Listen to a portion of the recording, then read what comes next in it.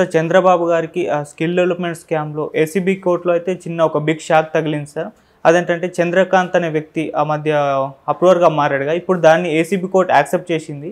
మరి దీని వలన చంద్రబాబు గారికి ఏమన్నా ఎఫెక్ట్ పడే అవకాశం ఉందా సార్? అది ఏం జరగచ్చు? యా నిన్న ఒక ఇంపార్టెంట్ డెవలప్మెంట్ చోటు చేసుకుంది స్కిల్ డెవలప్మెంట్ కేసులో.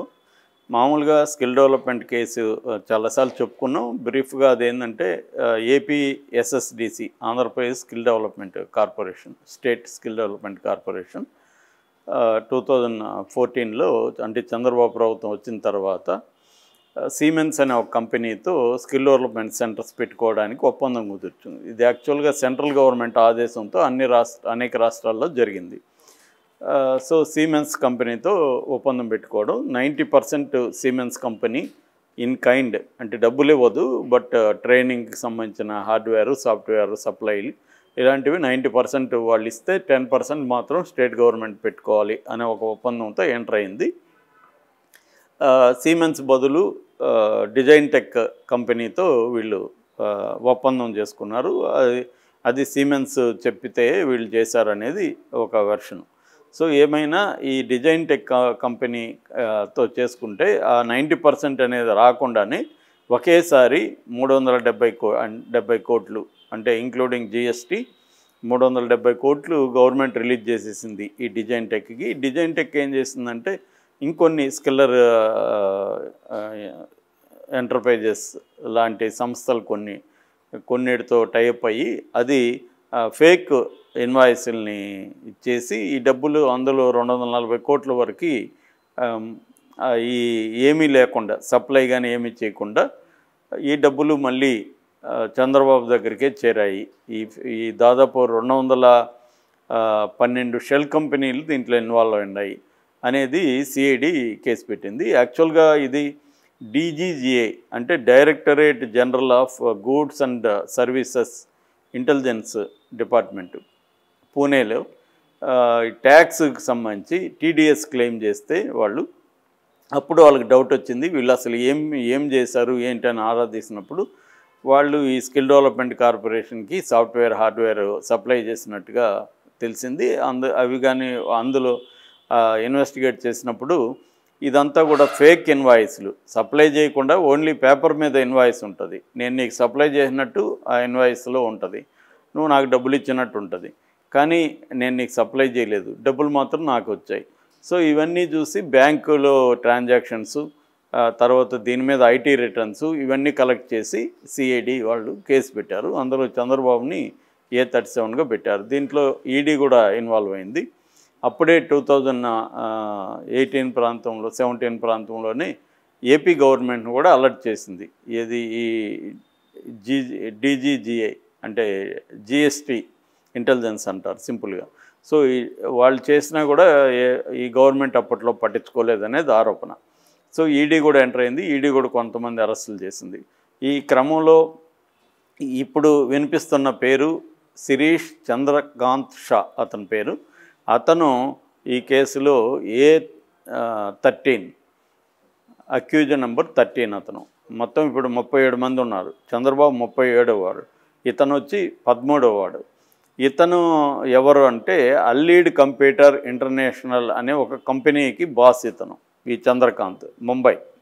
ఇతనుకి రోల్ ఏంది దీంట్లో అంటే ఈ ఫేక్ ఇన్వాయిస్ని ఇతని కంపెనీ పేరుతో ఇతన్ని గైడ్ చేసింది వచ్చి సావన్ కుమార్ జుజు అనే ఒక వ్యక్తి అతను వచ్చి ఏ ట్వంటీ సిక్స్. అతను ఇతన్ని అడిగాడు ఇలా నువ్వు కొన్ని ఫేక్ ఇన్వాయిస్లు ఫ్లోట్ చేయి అంటే ఇతను ఒక పద్దెనిమిది ఫేక్ ఇన్వాయిస్ల్ని స్కిల్లర్ ఎంటర్ప్రైజెస్ అనే కంపెనీకి ఇచ్చాడు. ఈ స్కిల్లర్ ఎంప్లాయ్ ఎంటర్ప్రైజెస్ అనే కంపెనీ కూడా ఒక షెల్ కంపెనీ. షెల్ కంపెనీ లాంటి అర్థమైందంటే ఈ కంపెనీలకి ఏదో చిన్న ఆఫీసులు ఉంటాయి కానీ అవి ఏం పనులు చేయవు. వాటికి ఏం ఎక్స్పీరియన్స్ ఉండదు. వీటి కోసమే ఒక కంపెనీ పెడతారు. ముందే ఫ్రాడ్ చేయాలనే ఒక కంపెనీ పెడతారనమాట దాన్ని షెల్ కంపెనీలని పిలుస్తారు. సో ఈ కంపెనీకి పద్దెనిమిది ఫేక్ ఇన్వాయిస్లు. ఈ చంద్రకాంత్ గుప్తా తన కంపెనీ అల్లీడ్ కంప్యూటర్స్ ఇంటర్నేషనల్ నుంచి ఇచ్చాడు. ఇంకొక రెండు ఇన్వాయిస్ల్ని డిజైన్ టెక్ కంపెనీకి ఇచ్చాడు అనేది ఆరోపణ. ఇతను last two thousand twenty one డిసెంబర్లో ఏపీసీఐడి అరెస్ట్ చేసి మజిలీపట్నం జైల్లో పెట్టింది. మళ్ళీ ఇతను బెయిల్ తీసుకొని బయటకు వచ్చాడు. ఆ తర్వాత July twenty three two thousand twenty టూలో గుంటూరు కోర్టులో ఇతను one sixty four CrPC statement అంటారు. అంటే కోర్టులో మేజిస్ట్రేట్ ముందు మనం వాంగ్మూలం ఇస్తే దాన్ని వన్ సిక్స్టీ ఫోర్ స్టేట్మెంట్ అంటారు. అంటే one sixty four of CrPC ఆ సెక్షన్ కింద తను వాంగ్మూలం ఇచ్చాడు. ఇట్లా నేను ఫేక్ ఇన్వాయిస్లు పలాని కంపెనీ కోసం చేశాను పలాని సావన్ కుమార్ జూజా అనే అతను చేశాడు అనేది ఇచ్చాడు. దీన్నంతా కూడా కోఆర్డినేట్ చేసి యోగేష్ గుప్తా అతను ఏ ట్వంటీ టూ దీంట్లో. యోగ యోగేష్ గుప్తా ద్వారా ఈ డబ్బులు మళ్ళీ చంద్రబాబుకి వెళ్ళి వెళ్ళింది అనేది ఇతని ఆరోపణ. ఈ యోగేష్ గుప్తా ఎవరో కాదు ఐటీ నోటీసులు కూడా ఆ మధ్య ఇష్యూ అయినాయి. ఏది అమరావతిలో బిల్డింగ్స్ కానీ తర్వాత టిట్కో ఇండ్ల నిర్మాణంలో అక్రమాలు జరిగాయనే కేసులో చంద్రబాబు కూడా ఐటీ నోటీస్ ఇచ్చారు ఈ యోగేష్ గుప్తాకు కూడా ఇచ్చారు అట్లాగే ఇంకొంతమందికి కూడా ఇచ్చాడు. ముఖ్యంగా ఆయన వాసుదేవ్ పరందా అని అని ఉంటాడు. ఆయనకు కూడా ఇచ్చారు. ఆయన ఇప్పుడు పరార్లో ఉన్నాడు.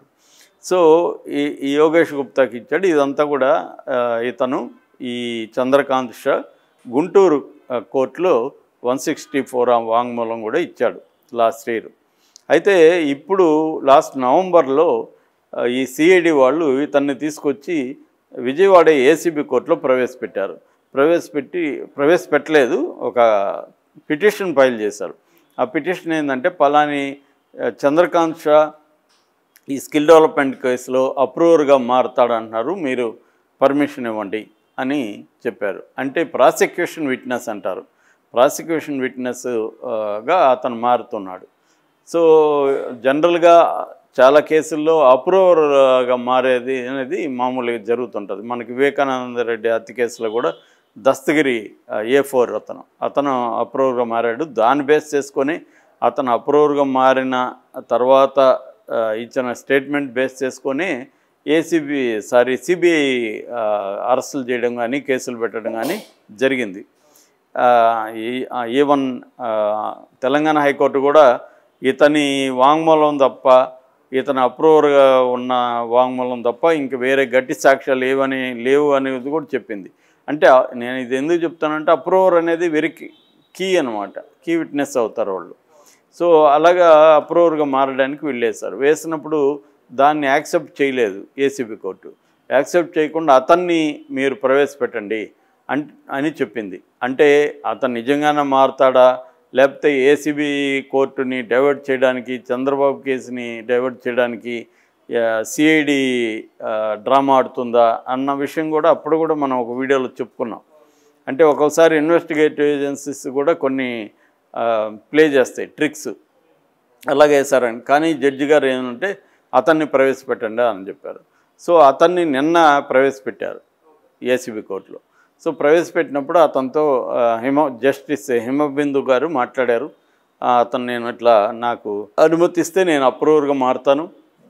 ఏపీసీఏడికి నేను ఇన్వెస్టిగేషన్లో సహాయపడతాను. ఇంకా చాలా విషయాలు నేను ఏపీసీఏడికి బయట చెప్తాను. ఏపీసీఐడికి చెప్తాను నేను అనేది ఆయన అన్నారు. సో ఏపీసీఐడి ఇప్పుడు వీళ్ళిద్దరికి నోటీసులు ఇచ్చింది. ఒకటి ఏపీసీ సారీ ఏసీబీ కోర్టు ఇద్దరికి నోటీసులు ఇచ్చింది. ఒకటి ఏపీసీఐడికి నోటీస్ ఇచ్చింది. చంద్రబాబు కూడా ఇచ్చింది. అంటే దీని మీద మీ కౌంటర్లు సబ్మిట్ చేయమని. యాక్చువల్ లాస్ట్ మంత్ ఇచ్చింది. వాళ్ళు ఇంకా వేసినట్లేరు అందుకని మళ్ళీ జనవరి ఫిఫ్త్కి ఈ కేసుని చేసింది. ఆ రోజు ఇతర వాంగ్మూలాన్ని కూడా రికార్డ్ చేస్తామని కూడా చెప్పింది. సో ఇది బేసిక్గా నిన్న జరిగింది. ఇప్పుడు చంద్రబాబుకి దీనివల్ల షాక్ అని అది ఇదని వస్తుంది. మరి నిజంగా షాక్ అంటే చెప్పలేం. రేపొద్దున ఇతని వాంగ్మూలం బేస్ చేసుకొని మళ్ళీ కొత్త విషయాలు బయటకు వచ్చాయని చంద్రబాబుని మళ్ళీ అరెస్ట్ చేస్తారా అనేది కూడా చూడాలి. అయితే ఈ లోపల సుప్రీంకోర్టులో క్వాష్ పిటిషన్ ఉంది కాబట్టి దాంట్లో కానీ చంద్రబాబుకు రిలీవ్ వస్తే దీంట్లోంచి చంద్రబాబుని పక్కకు తీసేస్తారు. మిగతా ముప్పై ఆరు మంది మీద మాత్రమే కేసును ముందుకు తీసుకెళ్తారు. చంద్రబాబుని దీంట్లో నుంచి కంప్లీట్గా బయటకు వచ్చారు. దీంట్లో నుంచే కాదు మిగతా కేసుల నుంచి కూడా చంద్రబాబుకు విముక్తి లభిస్తుంది. క్వాష్ పిటిషన్ కానీ ఆయనకు అనుకూలంగా వస్తే ఒకవేళ క్వాష్ పిటిషన్ ఆయనకు అనుకూలంగా రాకపోతే ఆల్రెడీ హైకోర్టు ఇచ్చిన రెగ్యులర్ బెయిల్ని కూడా ఇప్పుడు అక్కడ ఛాలెంజ్ చేస్తున్నారు. సో అదేమన్నా చంద్రబాబుకి వ్యతిరేకంగా వస్తే చంద్రబాబు ఇబ్బందులు పడే అవకాశాలు కనిపిస్తున్నాయి.